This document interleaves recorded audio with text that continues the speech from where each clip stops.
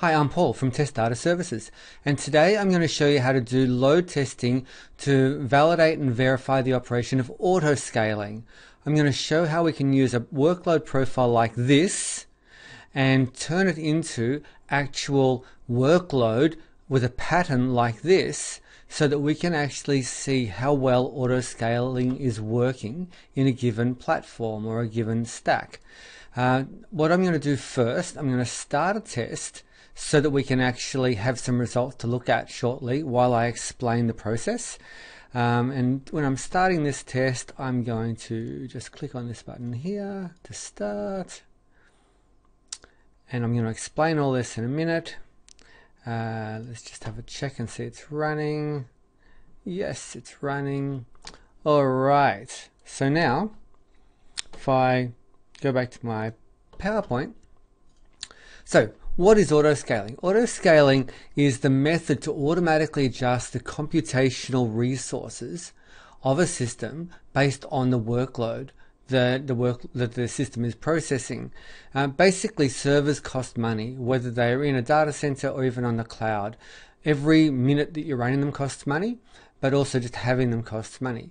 But in the cloud, obviously, if you normally need, say, 16 web servers for a fairly large website, uh, well, at night time or at quiet periods, you might only need two or four. So instead of running them for that whole time or paying for them for that whole time, you ramp down or you scale in uh, your workload. And then if you have an exceptional period of high workload, you'd want to ramp up or scale out or scale up uh, your uh, your resources. Maybe you go to from 16 to you know, um, you know, 20 or 30 or whatever um, the, the number is. There'll, there'll be an upper limit most likely. But the process of doing that scaling involves triggers. So one of the things we want to do in load testing is we want to establish if the triggers that have been configured work and do the appropriate auto scaling. We want to check that when we're scaling, uh, when we're increasing computational capacity, how long does it take from when the trigger happens to when we actually see the uh, the increased resource. And when we're scaling in or scaling down, we want to make sure that we don't have any transaction errors. We want to make sure that everything is quiesced properly on the server before it goes out of action. So uh, to be able to do that, what we really need to do is we need to have a, a, load test that has a dynamic workload profile. We need to be able to ramp up and down the workload uh, in in a, a, a very realistic way. Now, the test I'm going to show you today is using two sine waves in a composite form. That's not a realistic test, but what it shows is it shows that we can do any workload profile we like. When it comes to testing the auto scaling function, you don't want to do a ramp and hold traditional style test. You want to go up and down. You want to make sure that your ramp ups are dynamic, that they're not static. You're not, not increasing by, you know, 20 requests per second um, over a period of time, you want to have it so it's changing. Now, a sine wave is pretty good at that. You have a pretty steep period in a sine, uh, you know, pretty steep elevation, or sorry, gradient in a sine wave. But uh, we also need to make sure that we stay for extended periods of time within certain triggers uh, trigger areas. We want to see if we stay in a certain region for too long, do we go up or do we go down as we would expect to? And we need to make sure that whatever test we run, it's repeatable.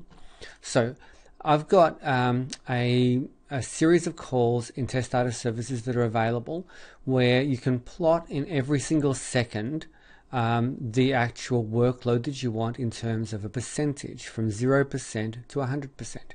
And all I did was I make, made the calls that populate the profile uh, using some simple math and two sine waves. So you can see we've got one sine wave here that goes up and down, and we have another sine wave that goes up and down uh, three times as often.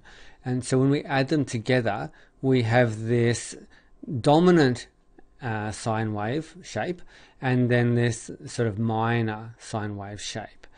Now, if we run this at uh, 100 transactions per second, we'll end up with something like this. Now, this light green is the number of transactions per second that we actually processed in a real test um, according to that profile. Uh, and this dark green up the top here is the request to find out uh, from the test data service API endpoint. Should we do work or not?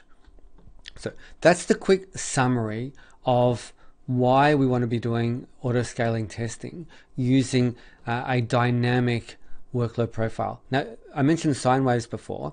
If you notice, the increase in load, say here, is much less than the increase of load just here. This is very steep. If we go back to this graph, we can see that it, the the gradient is increasing gradually and it's maxed out about here somewhere.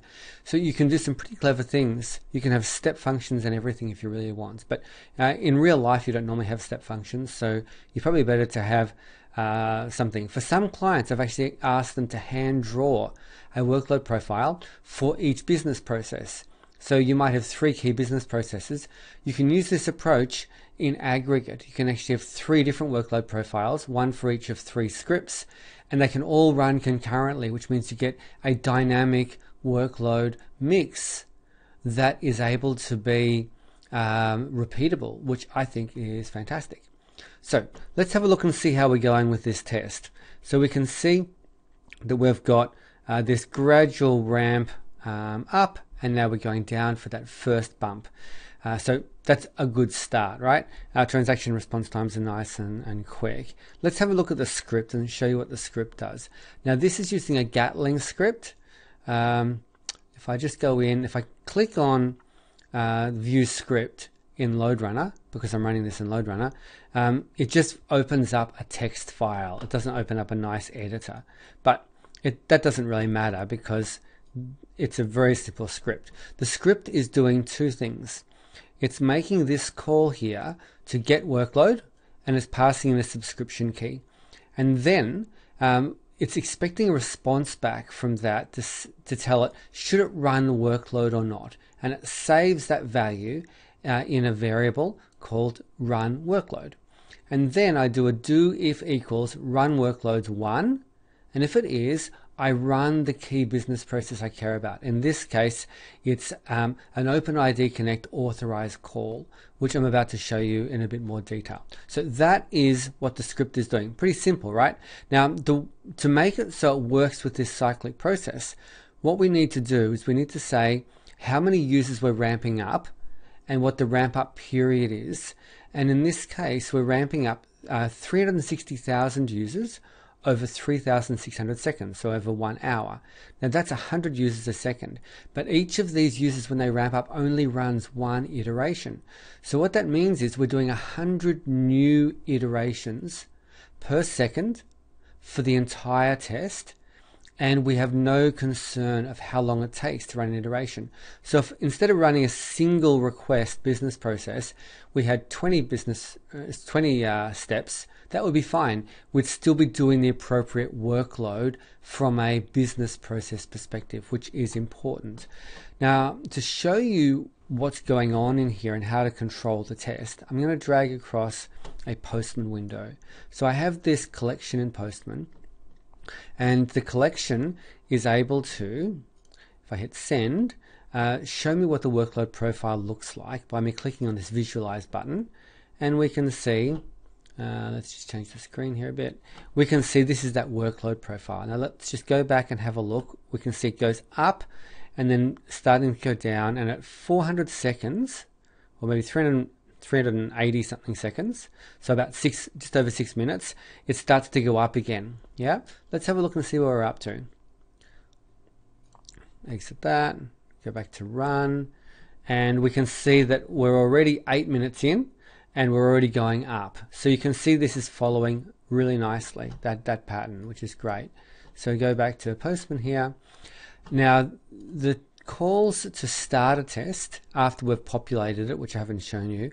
Um, this is the call I ran right at the beginning uh, of this um, video.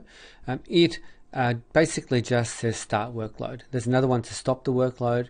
There's one to pause workload. If I push this one now, hit send, then what it's going to do is it's going to pause the workload where it currently is. It makes it not very repeatable. I wouldn't recommend you do this, but in a real test. But there are times when you're doing like exploratory load testing where you might want to do this.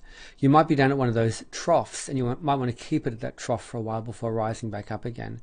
Um, then we've got this resume test, which I, I won't click yet. And we've got get current workload. Now, if I click this one, it's saying that our workload percentage is currently 87.7%. And each time I hit this send button, I'm going to get a, a, response back of a zero or one in run workload.